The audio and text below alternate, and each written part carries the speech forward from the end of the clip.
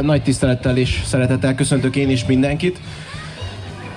Májusban mindig felmerül kérdésként Gyomendrődön, hogy nálunk miért nincsen gyereknap, és akkor én mindenkinek elmondom, hogy igen, nálunk van gyereknap, de ez a gyereknap ez hagyományosan júliusban kerül megrendezésre, ugyanis volt itt egy olyan önkéntes ember, egy olyan önkéntes személy, aki mindig megszervezte ezt a gyereknapot, és ahogy Laci előttem elmondta, ez már a 44. Cibere gyereknap, és városi gyereknapnak is szoktuk nevezni, hiszen Cibere amellett, hogy megszervezett mindent, és itt volt és csinálta ezt,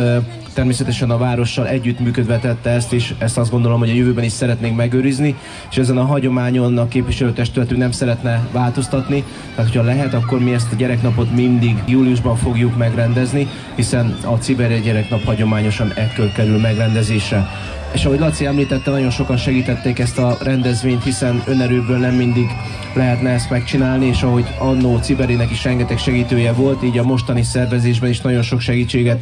kapott a város, kapott a Kálai Ferenc Művédési Központ, hiszen Vasas György személyében eh, van egy olyan képviselőnk, aki a körzetéhez, a, a szülőföldjéhez kapcsolódóan nagyon sokat tesz azért, hogy ez a rendezvény létrejöhessen. Ezúton is köszönöm képviselő úrnak ezt a munkát, köszönöm a Kálai Ferenc Művelési Központ munkatársainak ezt a segítséget, és természetesen a szponzoroknak és a fellépőknek is megköszönöm a segítséget, hiszen nagyon sokan jönnek el, és mutatják meg magukat, és próbáljanak jobb hangulatot teremteni. Kívánok mindenkinek mai napra nagyon jó szórakozást, kellemes időtöltést!